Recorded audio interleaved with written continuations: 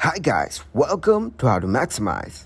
In this video, I will show you how to bypass the iCloud activation lock without an Apple ID. First, you need to open your web browser. Here, search for iMobi. Now, click to open the iPhone password unlocker in iMobi.com. Once you're in, tap on free download to download it. Once it is downloaded in your system, go to your downloads and open this file.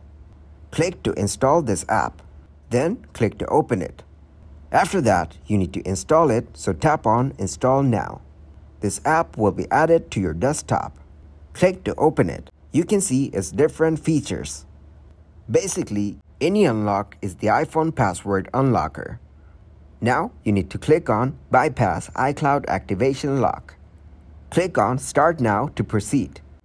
Now you need to connect your iPhone with the system via USB cable.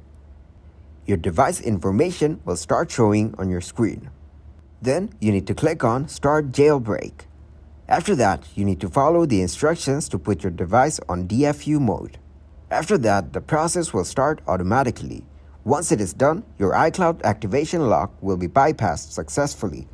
Thanks for watching and please leave a like, subscribe, and share.